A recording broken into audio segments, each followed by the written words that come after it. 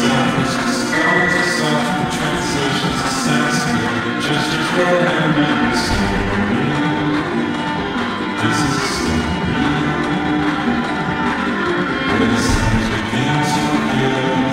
the to the dashes and all Getting left behind